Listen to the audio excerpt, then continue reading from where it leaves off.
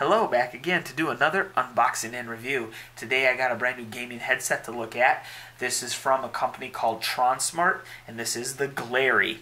We will get into that name, Glary, a little bit later. But for right now, let's talk about the company, Tronsmart. I have actually seen uh, their items for sale quite a bit when I've been shopping. However, this will be the first time I've actually purchased something from them. So Tronsmart is based in Shenzhen, China, and they make items very similar to this, so headsets, Bluetooth speakers, etc. They, I believe, their first items went onto the store shelves in what about 2013. Although the company might be a little older than that, but anyway, kind of gives you an idea of when they've been around. Okay, so now why this headset? I have more than enough gaming headsets, but I decided to pick this one up because of some of the features that it was promising in conjunction with its price point. So before we go any further and we do look around the box and all that, I thought I'd just put up a quick um, kind of the highlights, um, if you will. And yeah, so let me zoom in on that. Alright, so I'm just to scroll this paper. I, I basically just took this from their website and printed it out on paper big enough to see. So we see that they're claiming they have 7.1 virtual surround sound, 50 millimeter audio drivers, we have colorful LED lighting that evidently can be controlled by pushing buttons. There's a noise canceling mic with omnidirectional. So, and oh, I should, there you go. So evidently can filter out ambient noise as well. There's uh, inline control for the microphone. There are multiple equalizer settings. It looks like four. Exceptional comfort. So apparently there's soft memory foam. And uh, so you can just read it all. Okay, there you go. So evidently comfortable. There's strong compatibility. Well, that's just basically because it's a USB connector. So if you think of an item that has a USB port, you can probably use this with it. And then also there, um, okay, there they're talking about there's some um, audio software. I think you have to download something so to get that. So anyway, all right. So Tronsmart. So you can see some of the stuff we are talking about with the promotional highlights. All right. We also notice that this one is one of those headsets where the the band is actually kind of separated from what actually goes on the top of your head. So, and by the way, this is my first headset with this kind of configuration. Almost all my other headsets have the, this metal stuff in here. So, this is new for me, maybe not for you, but it'll be interesting to see how that differs. All right, and then you can see where the LEDs are going to come from. There's the extended mic. And again some of the stuff we already talked about like the 50 film 50 millimeter drivers and whatnot. And then was that 7.1 virtual and of course it has colorful LEDs okay on this side just glary gaming headset.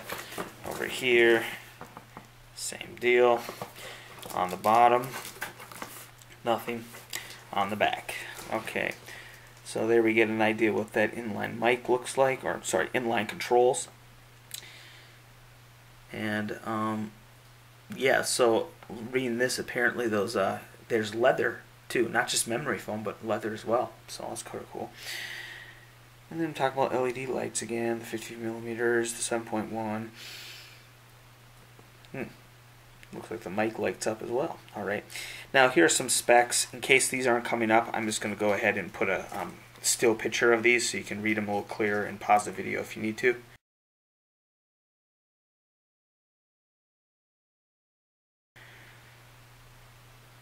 Okay.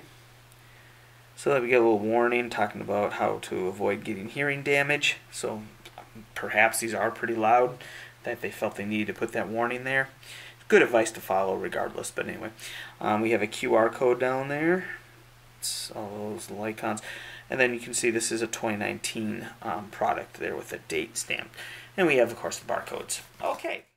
All right, so overall impressions of the packaging. It works.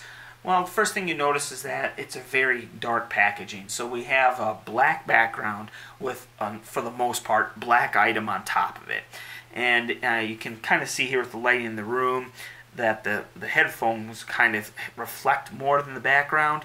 So you, there is some contrast there. But again, you're going to need the light to make that happen. Otherwise, it's pretty much just a, something on the cover. And then what you'll see is the name, the brand, and then these little um, orange little bubble information bubbles, which I think orange might be their like kind of brand color because you see orange on the retail hanger as well. Um, companies will use this um, black on black type packaging scheme because the I guess the idea is that black kind of gives it a more kind of a hardcore, edgy kind of look. And also, if you don't subscribe to that, it also can be more of like an elite. So think about, you know, those club memberships, Onyx level, you know, and the card is like all black or something. So, you know, VIP, I guess. So I get why they do it. But anyway, so I'd say the packaging works. A little more contrast would be good, but it it's okay. Now, but let's get to what I was promising earlier, and that is to talk about this name, Glary. Okay, now I understand. For the most part, the name might not mean anything to you, and you don't care. All you know need to know it is long enough to put it, find it on the store shelf, Glary, put it in the shopping cart. However, I usually go through the way the package looks, is because I understand a big part of it is those customers that might not be initially looking for this particular item, but decide to buy it because it looks cool or it catches their eye. So things, first impressions can be very important if that's the where a lot of your customers are going to be coming from. So now let's get back to this name, Glary. okay, so it can tell it wouldn't have been my first choice by far to name this thing, but I understand why they went with this name. Probably because the person naming this isn't like a native English speaker is glare, at least for the common use in English, isn't a positive thing. And I don't think they quite knew that. And beyond all that, if you just kind of want to be a little less mature, Glary eh, doesn't really, it isn't the most hardcore type name. It's kind of on the other side of the spectrum, if you know what I mean. Okay, but with all that out of the way, let's go and do the unboxing. Okay, so this is sealed with these little um, circle stickers. Got two there, and then there's the flap here. So I will go ahead and just uh, peel back these little stickers. Alright, got those off.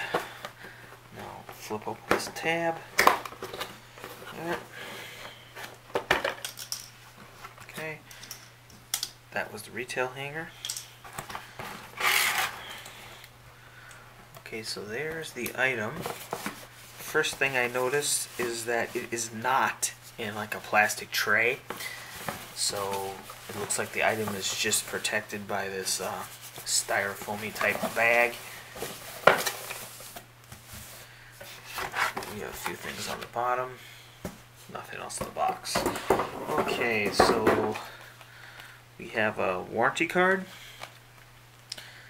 some contact information. There is, um, I don't know if it's coming up in camera, but there's a number for US and Canada support.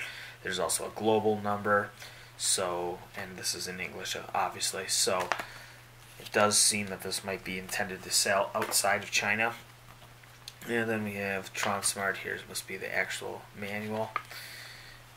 And okay, so we have other languages: France or French, Italian, and then of course English up front here. And there's some of the specs we've already seen. So I'll read through this, but okay, so we do have a manual. Now let's get to the actual item. Again, no plastic tray, just this bag protecting it. Alright, take them out here. Whoa.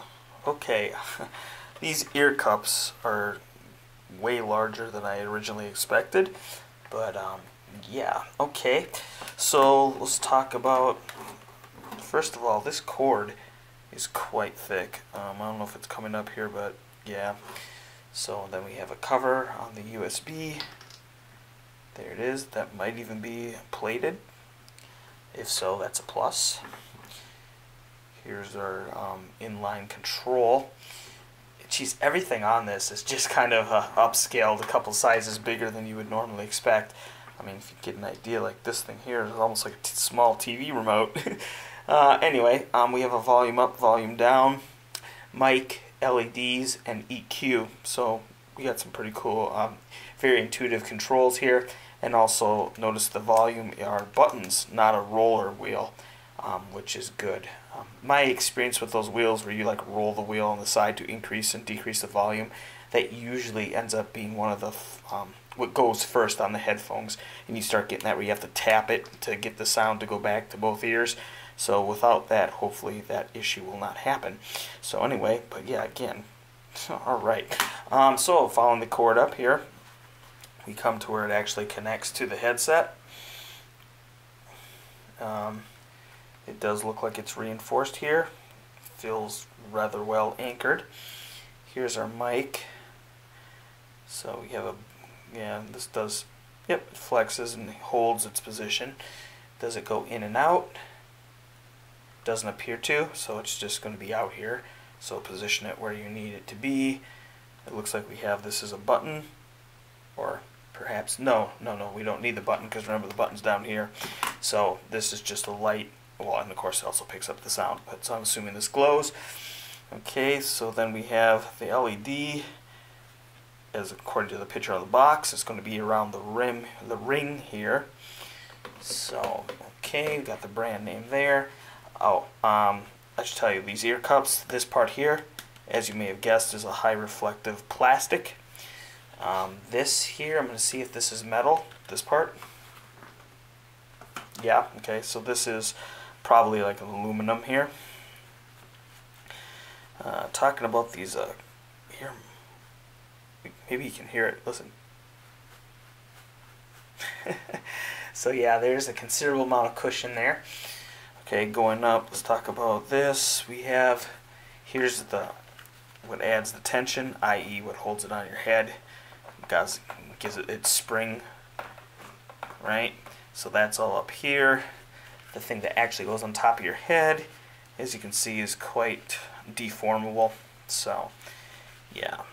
Um, all right, and there's some padding in there, but compared to that, it's it's not much, but it's enough, especially since all the hardware is up here. You don't really need much cushioning here, so that will do, most likely.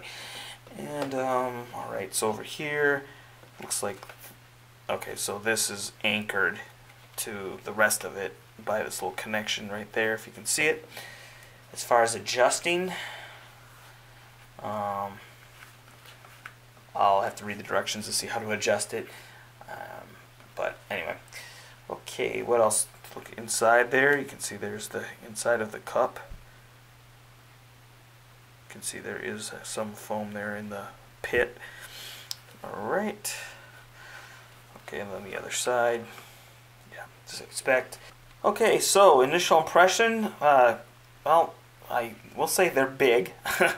um, and it seems like I said earlier, everything seems to be on the kind of bulkier side, even the cable.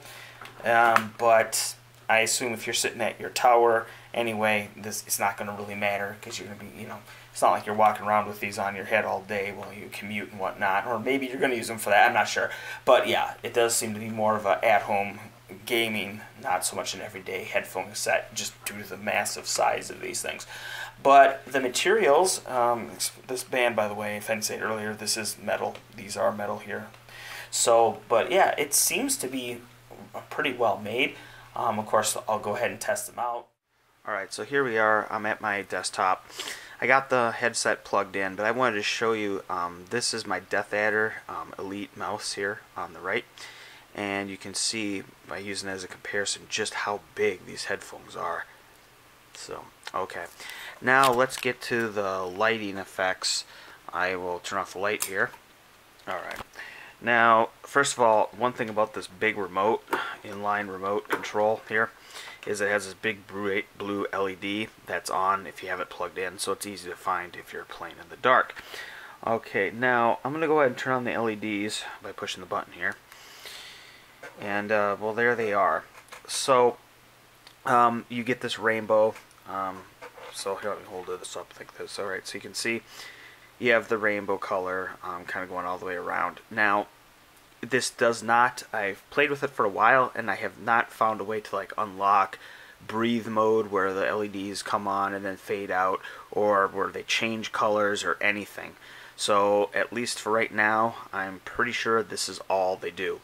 And no, they do not react to the music. So, alright. Oh, I almost forgot. I was going to show you the um, light for the mic. So the way this works is when the mic, I'm going to use of course the remote to turn it on and off, the inline remote, and when you have the mic on it looks like this. And uh, by the way, if that's not coming up, that's actually red, although at least from here it looks kind of orange. Just trust me, it actually looks red.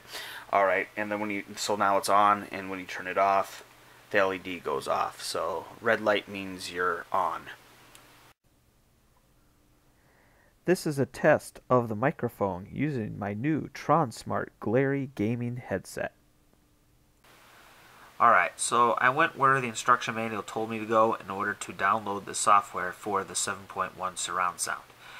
I also went to TronSmart's uh, website and navigated my way to download, well, the same software. So they both take you to the same files, which well, you'll download a RAR file, which is, you know, you'll have to unzip it.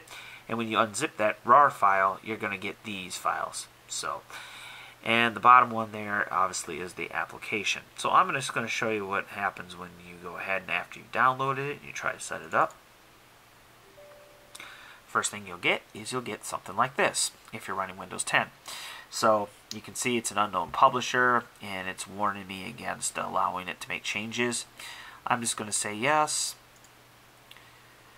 And now here's the actual software. Let me zoom in. Alright, there we are. So yes, this is 7.1 software. Uh, I'm going to go ahead and choose English, select next. Now we get this message. So it's wanting me to dis disconnect the device. That makes sense. I've done that before for other peripherals. It wants me to exit antivirus software. Uh, Okay, and you need to restart your computer. So no problem restarting the computer or disconnecting the headset, but this turned off my antivirus, uh, yeah. So this isn't the um, first warning I've gotten about not installing this software because it comes from, again, an unknown publisher. So if we look down a little here, we see, yeah, yeah, 7.1 gaming headset, cool. Then we see this, solid state system. Now, I didn't know what this, I mean, I kind of figured this was a company, so I went ahead and looked this company up. Let me cut. Alright, here we are. Solid State System. This is their website.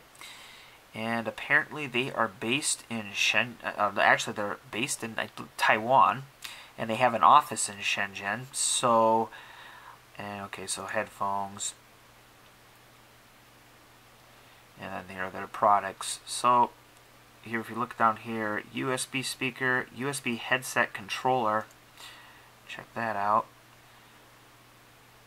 so I'll let you read here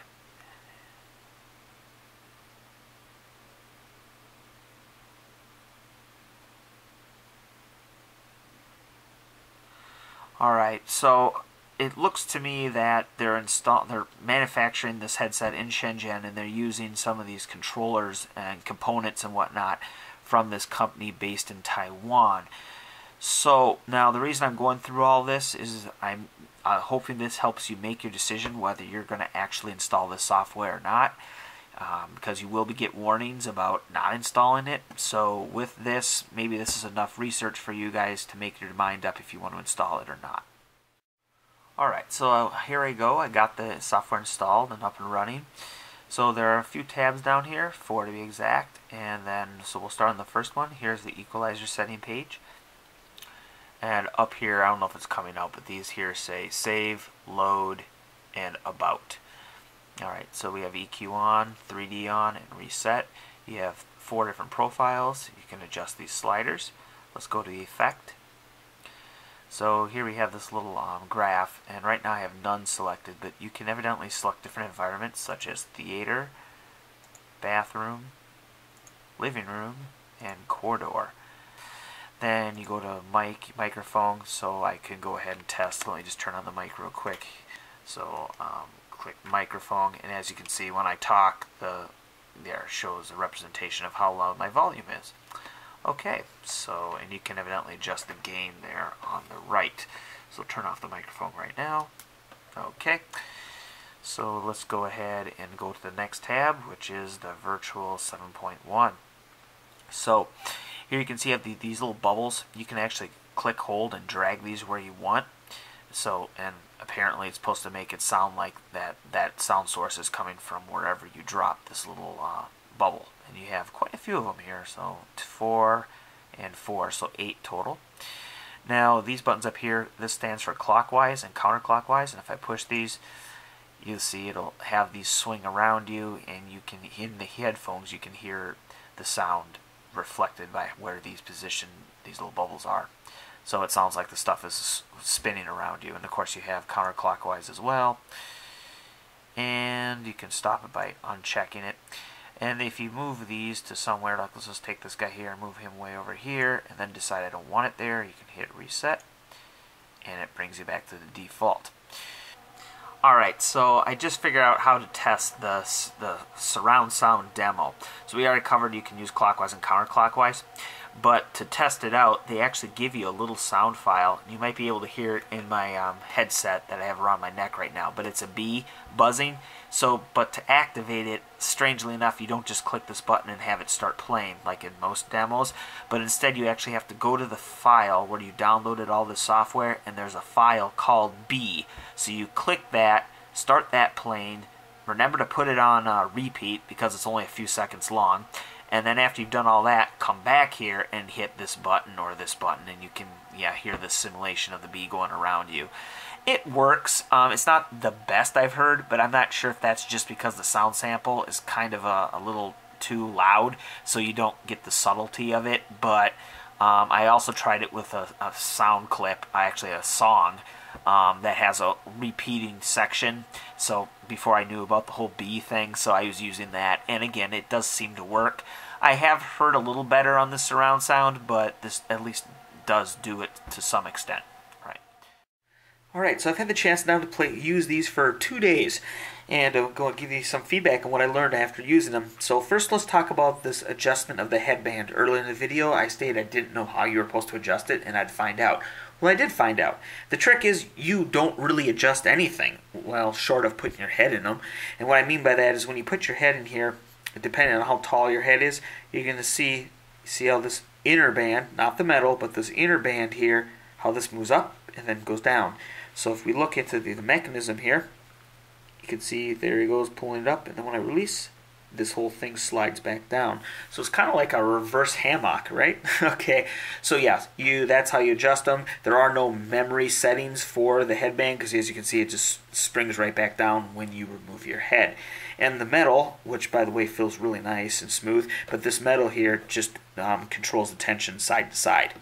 So, yep. Okay, so we covered that. Now let's go into the cable here. As I stated earlier in the video, this cable is quite thick. So you're going to have to do some kind of cable management because at least for me it was just draping over the top of my desk and it is quite noticeable. So you might want to kind of figure out a way of tucking it around the corner of your PC or something like that. But anyway, the good thing is that this cable is actually quite, as you can see here, it is quite long. So you will be able to get up and uh, move, maybe not too far, but you can probably like get up and walk over to the table next to you and pick up your pop or whatever. So you do have some leash here, which is nice. Okay, so we covered that. Now, um, I don't want to delay much longer. I'm going to get into what everybody's been waiting to hear. How do they sound? Well, they sound actually very good. I was surprised. Uh, first, let's talk about the power. Uh, boy, these things can get loud. Um, to give you an idea, I was playing Eternal Crusade. Um, that's a kind of futuristic uh, sci-fi um, war game, all right? And this particular one's in third person. So, anyway, um, I was in the tank and I was using the main gun, and wow, I had to actually take these off my head because it was to the point where my ears were starting to ring. So, and that was at 50% volume. So, when you control the volume using this, it adjusts the master volume on your PC, right? Makes sense. And so I had it set at this or hence the master volume set to 50 on my tower. And then the game was on its default volume setting which I believe is maxed pretty much for everything or at least near max. So with that they got they got too loud. I have to them come off. Of course Eternal Crusade is a pretty noisy game but even so. So take the warning on the box. Seriously these can get loud. I'd say one more thing. For all you Warhammer 40k fans the heavy bolter using these sounds absolutely glorious. So, okay, now let's talk about the um, clarity. Um, the clarity is actually really good. A lot of times when these are super powerful, they don't really have good clarity, just a lot of oomph. But these actually have pretty good clarity. Um, what I like to, um, as an example of that was I was listening to the song that starts off with rain and the thunderstorm, so ambient sound effects, right?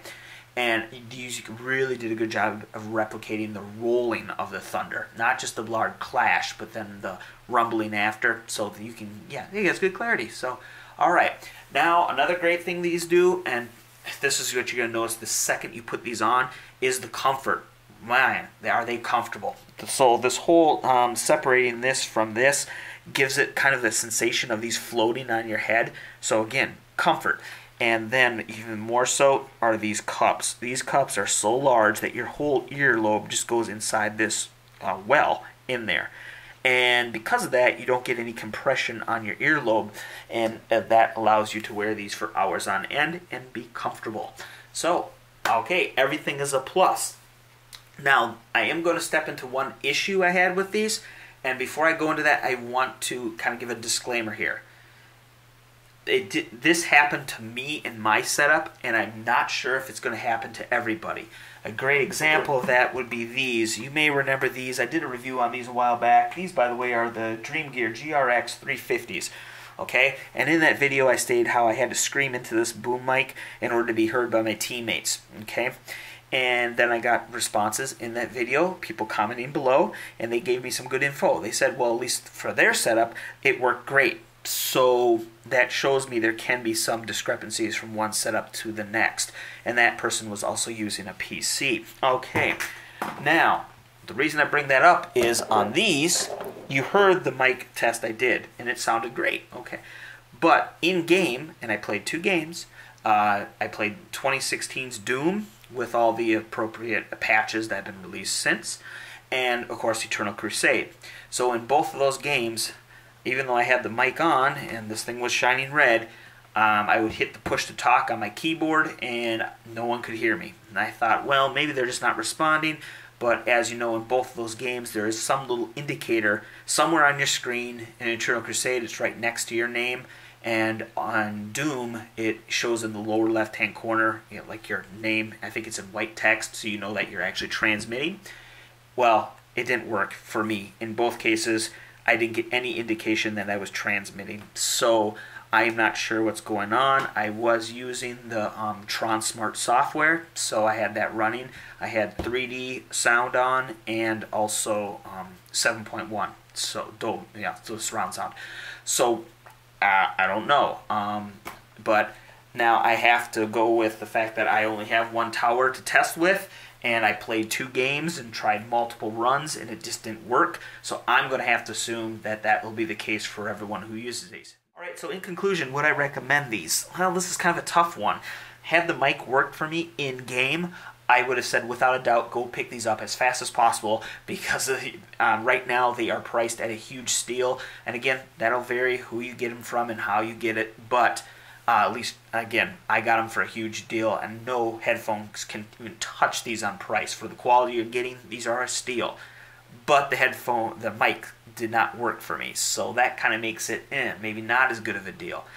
So it's yes, I know it's a kind of a yes if, no if this, but kind of answer, but that's the best I can do. Um, and if you are one of those people that can do without voice chat, please pick one of these up and give them a try and tell me know if the voice chat works for you.